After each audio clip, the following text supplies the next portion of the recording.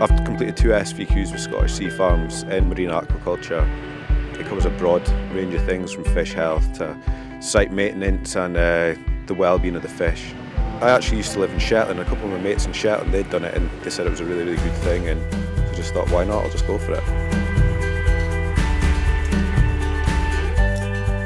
Before I started here, I didn't really know anything about fish farming, but I got the job and the company provides some really, really good training, so I've been on loads of training courses to build me up to become a competent fish farmer.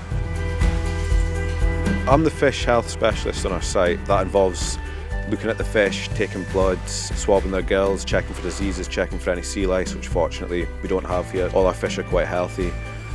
But also we're involved in the site maintenance and the feeding of the fish and also any other activities that need to go on the site, like net cleaning and harvesting.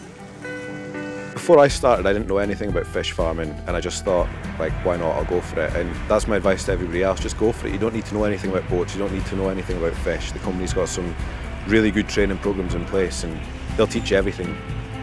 It's a really good job. I mean, the, the money pays well, and I work with a good bunch of guys, so yeah, I'm quite happy.